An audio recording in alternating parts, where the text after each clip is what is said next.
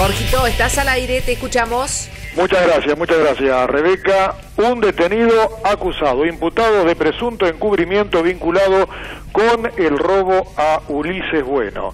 El hecho sucedió en la tarde de ayer, uno de los tantos allanamientos practicados en la zona de Villa del Libertador. De acuerdo a lo que ha trascendido, le había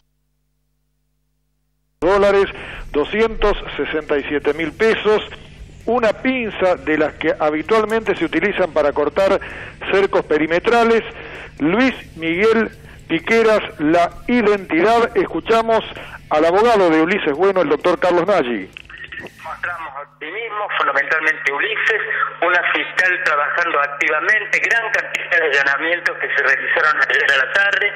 Eh, el primer detenido en la causa Ulises, secuestro de suma de dinero y un objeto manual de trabajo.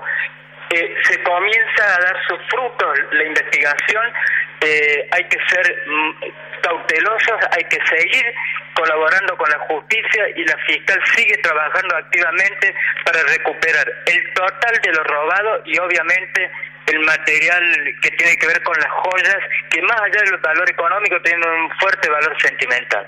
Repito, Rebeca, son los primeros datos que podemos eh, comunicar, que podemos contar.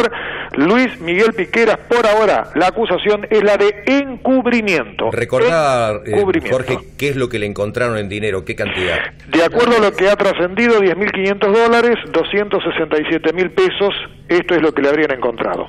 Bien. Bueno.